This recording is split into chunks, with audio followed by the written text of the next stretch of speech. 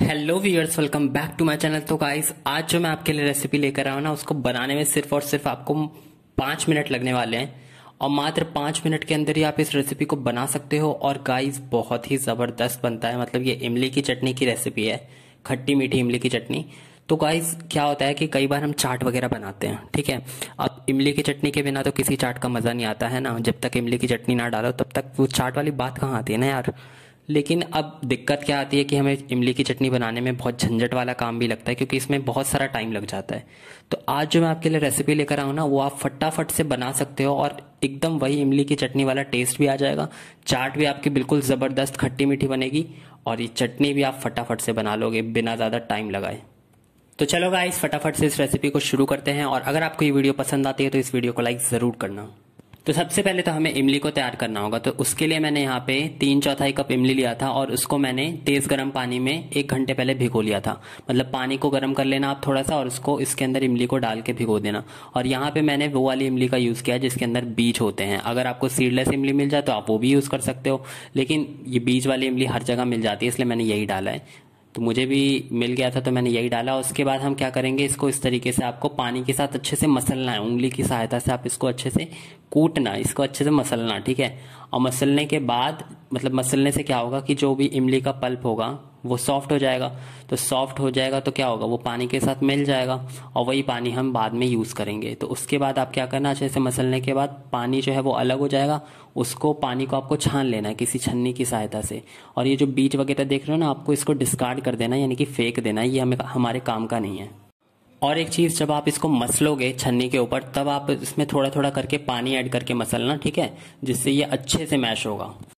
तब आगे देखो आपको क्या करना है। मैंने एक पैन में क्या किया था?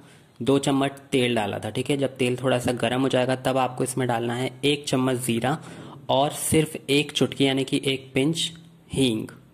और साथ में ही आपको डालना है एक टेबल स्पून यानी कि एक बड़ा चम्मच ये क्या है? अदरक है हाँ। अदरक डालना है आपको, ठीक है? और देखो, इसमें वैसे तो अदरक की जगह सॉल्ट पाउडर जो होता है ना, यानी कि जिंजर पाउडर, वो यूज़ होता है, लेकिन मेरे पास जिंजर पाउडर नहीं था, यानी कि सॉल्ट नहीं था तो मैंने इसकी इसकी जगह क्या किया? अदरक डाल दिया। तो जिनके पास नहीं है, वो इस तरीके से अदरक भी डाल सकते हैं। बस थोड़ी देर पका लेना है, कुछ तीस सेकेंड तक आप इसको पका लेना, और उसके बाद आपको जो हमने इमली वाला पानी बना के रखा था, वो डाल देना है। और फ्लेम को इस वक्त मीडियम रखना है, और मीडियम फ्लेम पे जब इस तरीके से बॉयल आने लगे तब आपको इसमें डालना है गुड़। गुड़ कितना डालना है? तीन चौथाई कप मैंने यहाँ पे इमली लिया था तो आधा कप मैंने इसमें डाला है गुड़। अब गुड़ आप अपने टेस्ट के अकॉर्डिंग भी कम ज़्यादा कर सकते हो। मतलब अगर आपको ज़्यादा मीठा पसंद है तो आप थोड़ा बढ़ा सकते हो, या फिर आप क्या कर सकते हो? आधा गुड़ और आधा चीनी भी आप मिलाकर डाल सकते हो, ठीक है? अब देखो, यहाँ पे मैंने इसको मीडियम फ्लेम रखा था और इसको हो गए हैं पाँच मिनट पकते पकते गुड़ डालने के बाद। जब आप इसमें गुड़ डाल देते हो, तब इसका जो कलर है, यानी कि जो रंग है, वो थोड़ा सा चेंज हो जाता है डार्क हो जाता है, गाढ़ा हो जाता है। ठीक है, पहले से आपको दिख रहा होगा इसके रंग में अंतर। तो अब हम इसमें डालेंगे मसाले और मसाले हमको बहुत ज़्यादा नहीं चाहिए, बहुत ही सिंपल से मसाले मैंने डाला इसमें। तो आपको सबसे पहले डालना है एक चम्मच चाट मसाला, एक चौथाई चम्मच काला नमक और आधा चम्मच डालना है आपको लाल मिर्च पाउडर। नमक डालना है टेस्ट के अकॉर्डिंग और चाट मसाला डालना है एक चम्मच, यानी कि वन टीस्पून ठीक है? और बस इन सब मसालों को डाल के मिला लेना और मिलाने के बाद आप इसको तीन से चार मिनट और पकाना या फिर तब तक पकाना जब तक ये गाढ़ा नहीं हो जाता मीडियम फ्लेम पे। तो अब देखो। दिख रहा है आपको? एकदम वही इमली की चटनी जैसा आपको थोड़ा थोड़ा लग रहा होगा अब ये। क्योंकि गाढ़ा हो गया है पकते पकते और इसकी क्वांटिटी जो थी, यानी वो भी पहले से कम हो चुकी है। तो अब तो बस अब आपको इसको सिर्फ़ दो मिनट और पकाना है और इसके बाद आपको गैस को बंद कर देना है। मतलब बहुत ज़्यादा गाढ़ा नहीं करना है क्योंकि ठंडा होने के बाद ये थोड़ा और गाढ़ा हो जाता है। ठीक है? तो यहाँ पर आपकी इमली की चटनी रेडी है। अगर आप इसको थोड़ा और गाढ़ा करना चाहते हो तो ये आपकी मर्ज़ी, आप कर सकते हो। ठीक है?